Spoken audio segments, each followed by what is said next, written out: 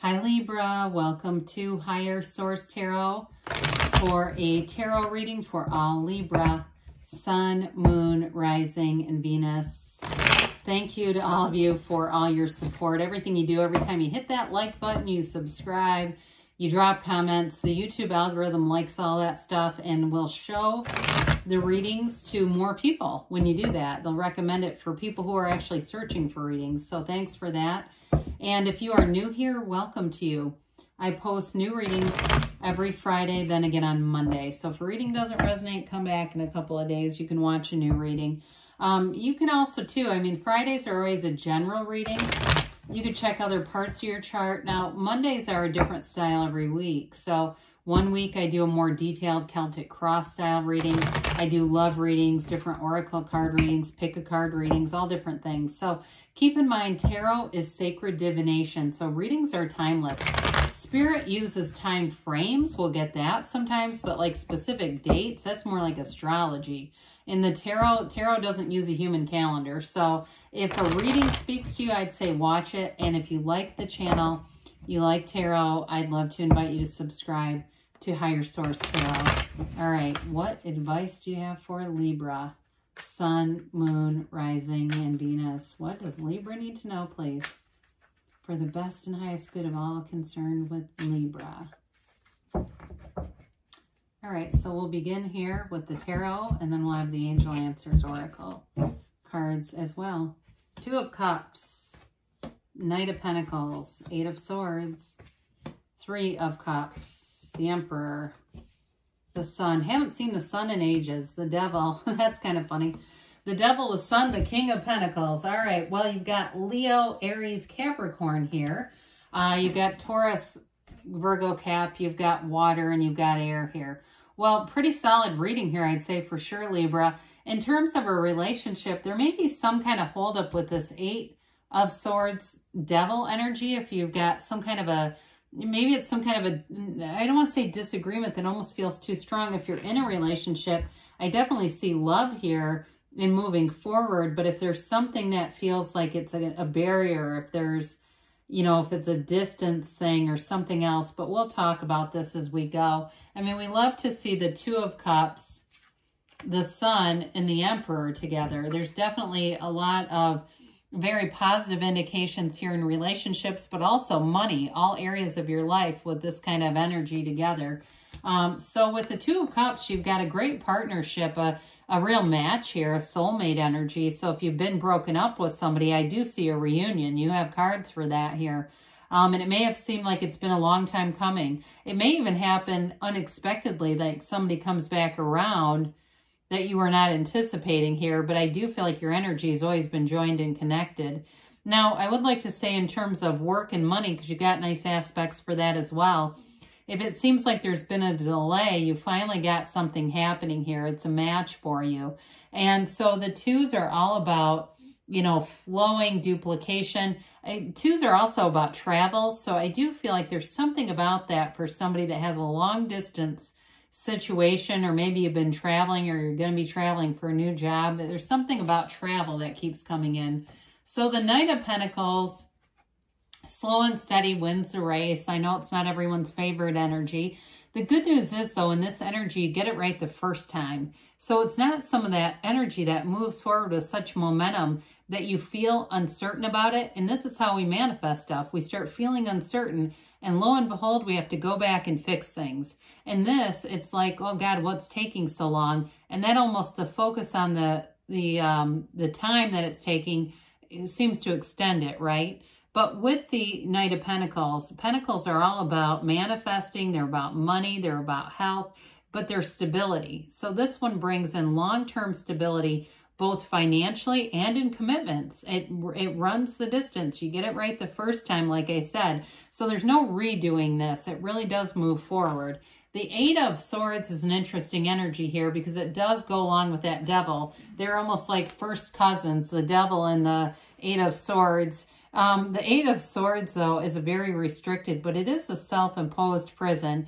I mean, really anything is. It all starts in the mind, and then we put those feelings with it, and that's like miracle growing, whatever we're thinking.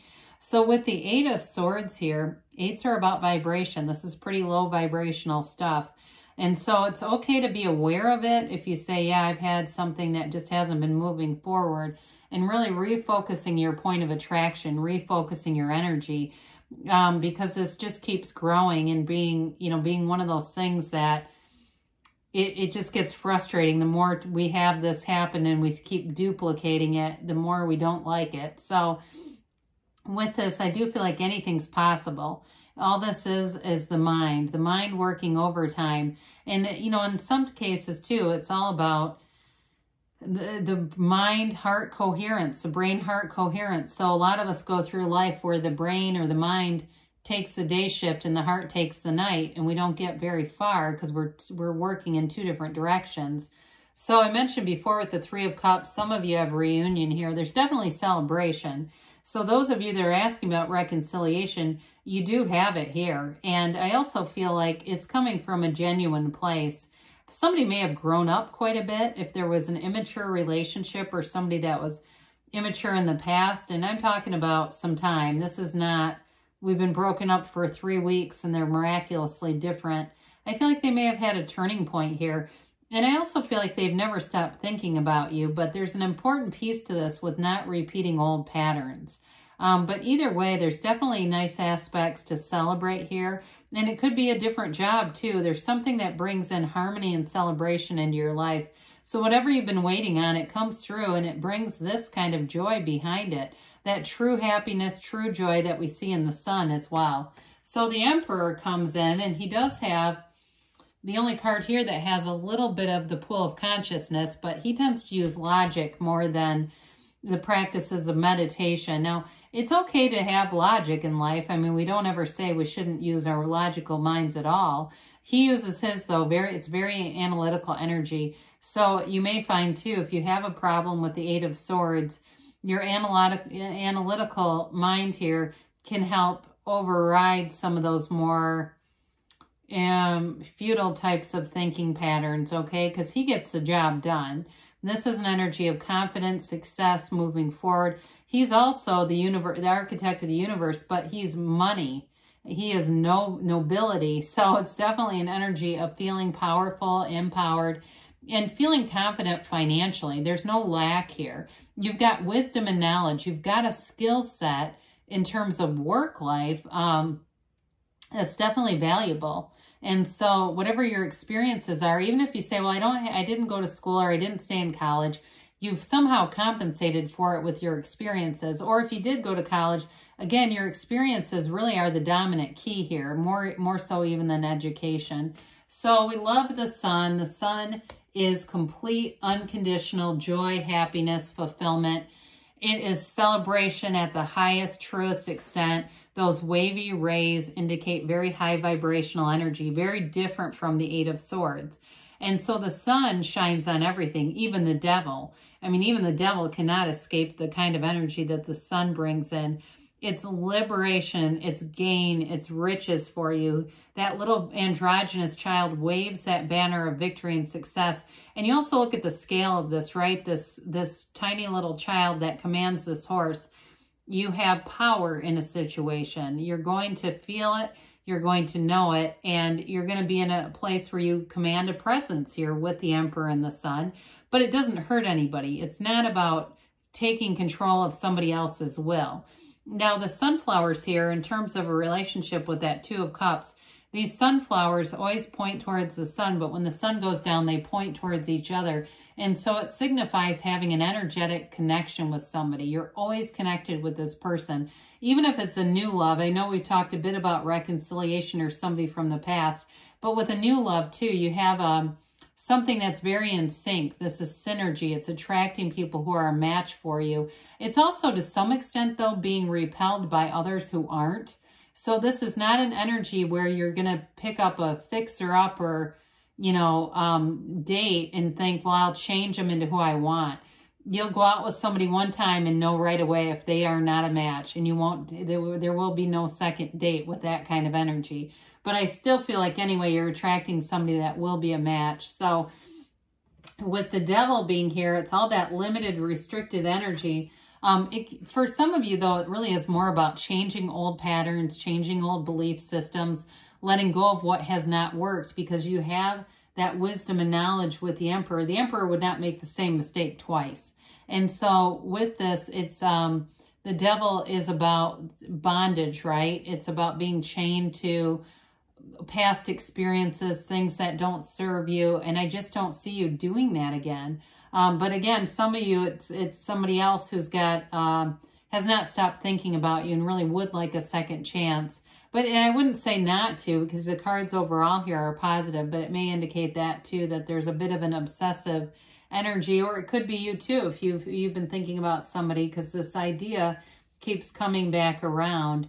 So with the King of Pentacles, very stable energy in all areas of your life, prosperity, abundance abounds, and too in work situations, it can be too a, um, a boss or a mentor who gives you very good direction. They help you. They're helping you to elevate your career. It could be you as well, though. I mean, in terms of if you are in a supervisory position, here you go. It's if you got a promotion or a new job, because whatever it was that you've been waiting for, it's finally here. And this is the, this is goals. It's the Midas of the tarot. So it seems like you just keep attracting more and more and more in this energy. It's a very positive indicator, not only for money, but also stability in your life. And we didn't talk a lot about health here, but those pentacles too are about the physical body. So with the king and the knight, it's long-term stability in any areas that, that, that the pentacles represent. So money, manifesting positive things,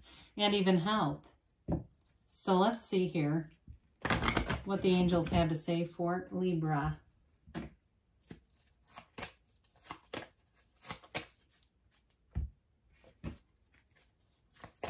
Okay, we've got here peaceful resolution. So whatever the Eight of Swords is, you're going to be walking free, freedom from bondage in both accounts there.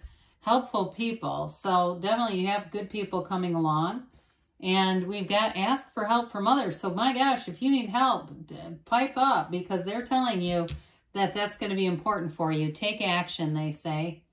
And you've got a yes. So good things are on the way for you, Libra. I love you, and I'll be back again soon.